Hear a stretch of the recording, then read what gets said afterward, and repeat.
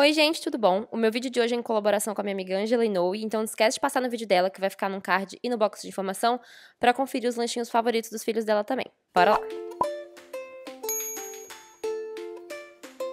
Então, para começar o iogurte, você vai precisar do fermento lácteo, que é aquele grupinho de bactérias que de fato vai transformar seu leite em iogurte. E aí, esse fermento você normalmente encontra em loja de produtos naturais. Você também vai precisar do leite, que vai virar iogurte. Nesse caso, estou usando de coco.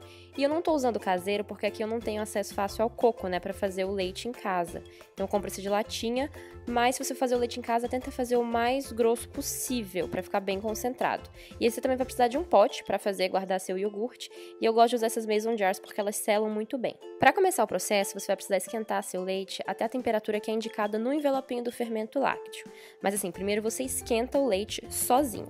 Então eu vou simplesmente despejar meu leite na panela e o meu fermento pede que ele seja esquentado até 38 ou no máximo 42 graus.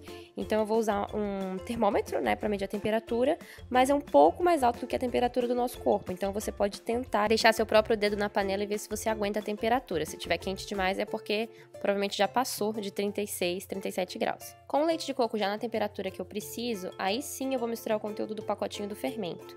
E é meio chato, sabe? Ele não, não mistura tão bem, mas nada que um pouco de paciência né, não facilite. Então, mistura, mistura, mistura até tá completamente dissolvido.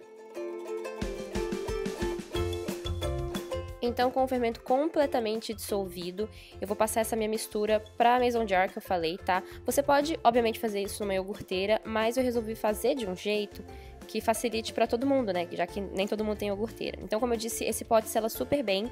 E ao invés de botar numa iogurteira, eu vou botar numa lancheira térmica, bem seladinho, tá?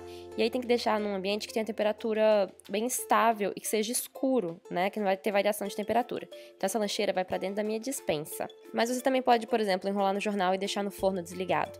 Eu vou deixar na minha dispensa por 12 horas e depois de 12 horas eu vou botar na geladeira por mais 4 horas.